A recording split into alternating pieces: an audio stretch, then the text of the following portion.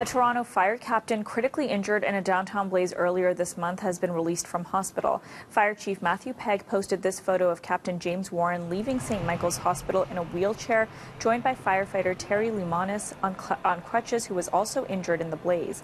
The two were fighting a suspicious four alarm blaze at an abandoned home on Shuter Street on November 2nd. Toronto police continue to investigate the cause of the fire.